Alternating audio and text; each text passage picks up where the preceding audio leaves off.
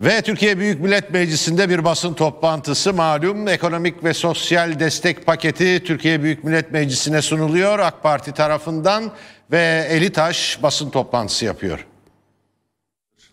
Yine Sayın Cumhurbaşkanımızın açıkladığı kanunun yürürlük tarihinden itibaren 1 Temmuz 2023 tarihine kadar işverenler çalıştırdıkları kişilere elektrik ve doğalgaz yardımı yaptıkları takdirde vergi ve sigorta priminden muaf olacaklar. Eğer bunu nakit olarak yardım mahiyetinde verseler bile hem gelir vergisine tabi çünkü asgari, ücreti, asgari ücretten sonra kısımlar yüzde on beşlik vergiye tabi hem de sigorta primine tabiydi. Bu konuda işverenler 1 Temmuz 2023 tarihine kadar doğalgaz ve elektrik yardım olarak bin liraya kadar yaptıkları yardımlar gelir vergisi ve sigorta priminden muaf olacak. Bu e, işverenlerin de buna kendi çalışanlarına bu kış döneminde katkı sağlayacaklarını ümit ediyoruz. Şimdi ARGE ile ilgili bundan önce 1 milyon liraya kadar yapılan desteği 2 milyon 500 bin liraya çıkarıyoruz.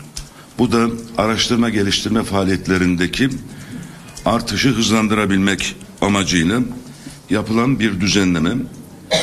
Yurt dışında Türkiye'den giden inşaat işlerinde çalışan Türk işçilerine yapılan ücret ödemelerini gelir vergisinden istisna hale getiriyoruz. Bundan önce Türkiye'den giden işçiler yurt dışında çalıştıkları takdirde orada iş e, beyanname veriliyor ve sigorta primine tabiydi.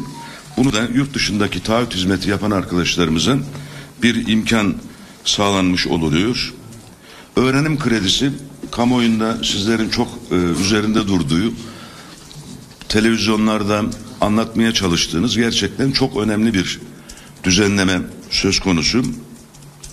Öğrenim kredisinden yaklaşık 1 milyon 392 bin kişi bugüne kadar almış öğrenim kredisini almış. Bir de 26 bin kişi de katkı kredisi almış.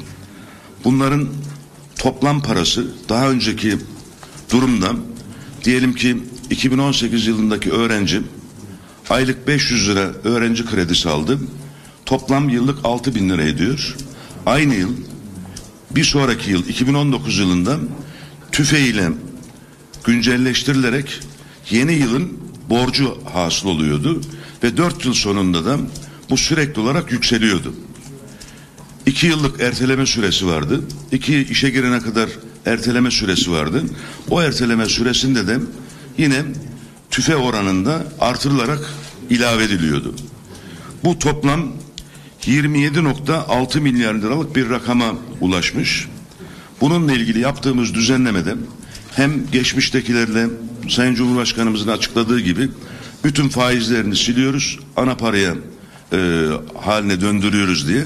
Bundan sonraki süreçte de artık öğrenci kredilerim hiçbir artışa tabi olmadan mesela 2022 yılında öğrenim hayatına başlayan öğrencim bugün 850 lira herhalde öğrenci kredisi 1000 lira diyelim yuvarlak hesap kolay olsun diye 12 bin lira yıllık 2022-2023 öğrenim yılında 12 bin liralık kredi alacak. Bu 12 bin liralık kredi okul bitene kadar sabit.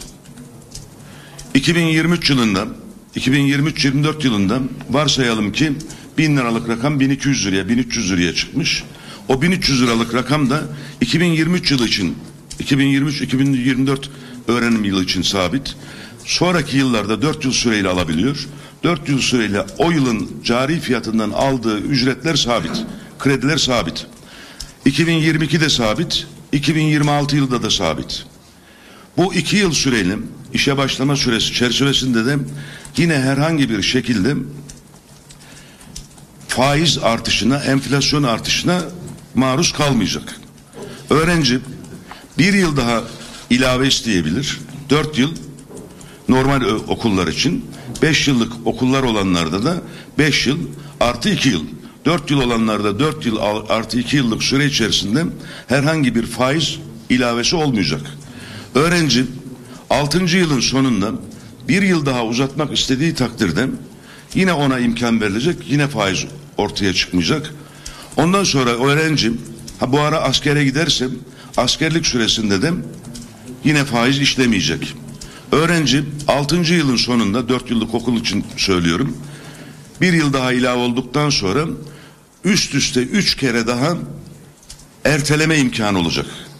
Yani 7. yıldan sonraki ilave ertelemeler için yaptığı takdirde toplam borcuna başlangıçtan bu tarafa nominal olan borcuna yüzde onu geçmemek üzere tüfe oranı kadar faiz ilave edilecek. Bununla ilgili de üç kere uzatma hakkı ortaya çıkmış oluyor.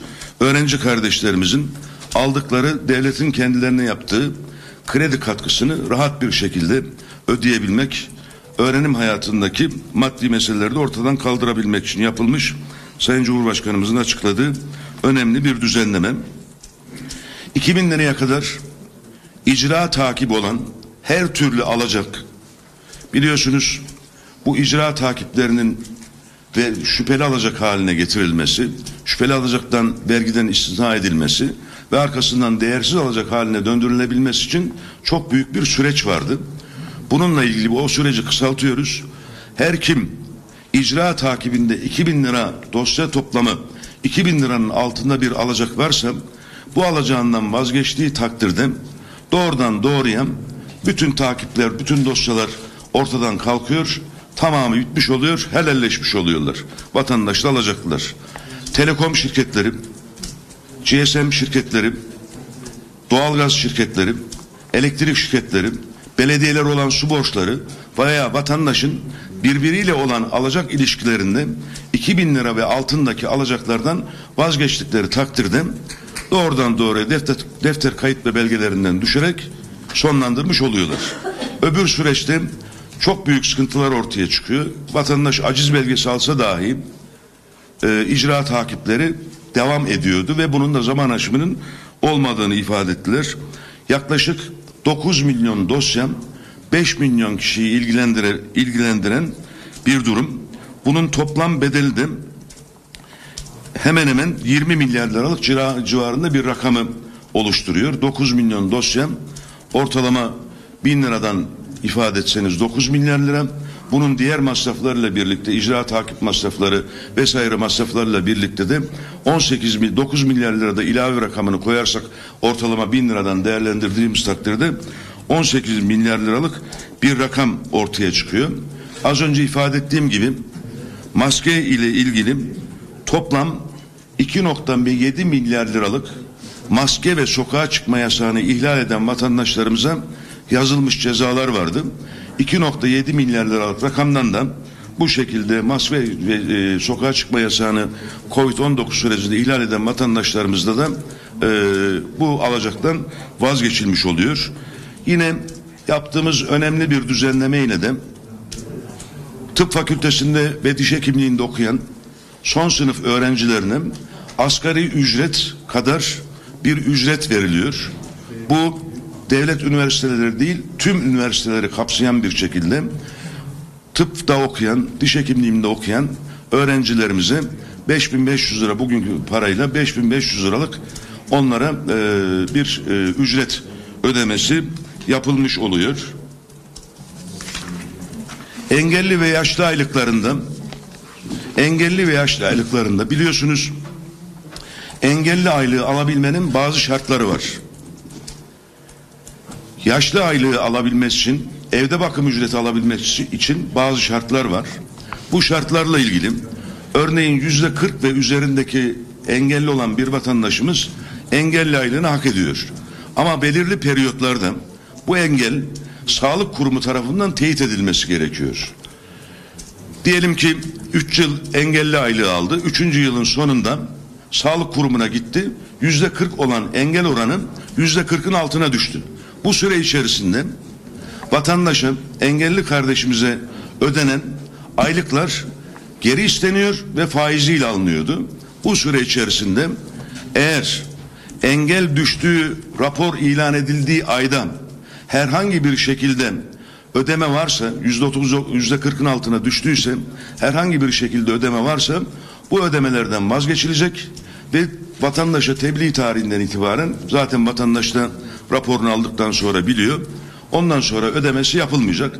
Bundan önce verilen yersiz ödemeler diye hem vatandaştan ana parası alınıyor hem de faizle alma yoluna gidiyordu. Bu konuyla ilgili yaşlı ve engelli kardeşlerimize önemli bir düzenleme yapmış oluyoruz. Diğer konularda bankacılık kanunu ile ilgili durum var. Kamu ihale kanununda değişiklik yapan düzenlememiz var. Sosyal Güvenlik Kurumu'nun taşınmazlarının elektronik ortamda ihaleye çıkarak satılmasına imkan veren bir düzenleme var. Hem rekabeti artıracak hem de şeffaflığı artıracak bir düzenleme olduğu kanaatindeyiz. Bir de değerli arkadaşlar, yurt dışında yaşayan bir vatandaşımızın Türkiye'ye araçla geldiği takdirde iki yıl içerisinde bu aracı yurt dışına çıkmamak kaydıyla kullanma hakkı var.